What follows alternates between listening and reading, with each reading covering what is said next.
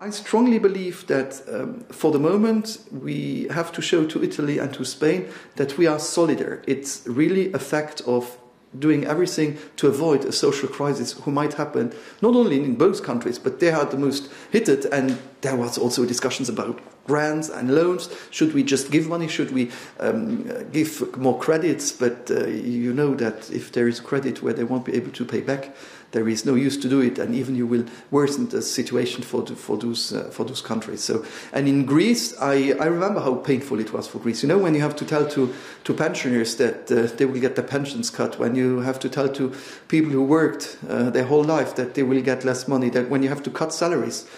Okay we have to do structural reforms but I think that the coronavirus crisis and the answer cannot be you have to change this and this and this in your country. The answer should be today we are solidar you are in a crisis and we are going to help because we know that this solidarity it's not for free to be honest.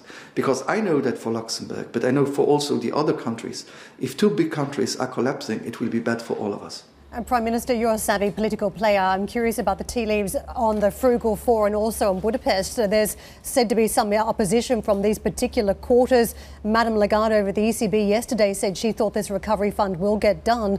But what would you say about the level of opposition, particularly from the Frugal Four? So we have, we have the problem is we have lots of critical points to be honest. We have because we didn't speak now about the, the rebates, but we also have the rebates which were given to the UK in Fontainebleau. So now having the UK leaving uh, the European Union, it's strange still to have an advantage that the European Union gave to the, the UK and still to give it to other countries.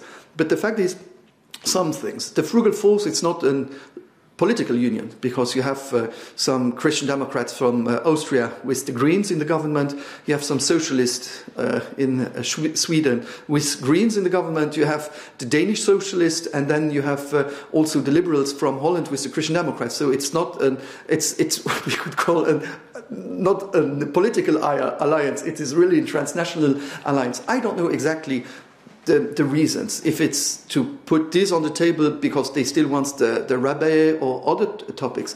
But the fact is we need to be solidar and we we need to have roots. So I, I think that the, the truth is between all of those. But on the other hand we have countries who say that we are not allowed to speak about um, the rule of law. And when I see what's uh, happening about the rule of law or even um, some uh, positions that have been taken in the last months uh, and weeks about minority rights in some countries, I think we should not forget that the European Union is uh, not only an economic or finance market or market of goods, it's also values. And I think this is the backbone of this European Union. And if we consider that we cannot speak about values although we don't need to respect values, I don't need to spend my time in Brussels.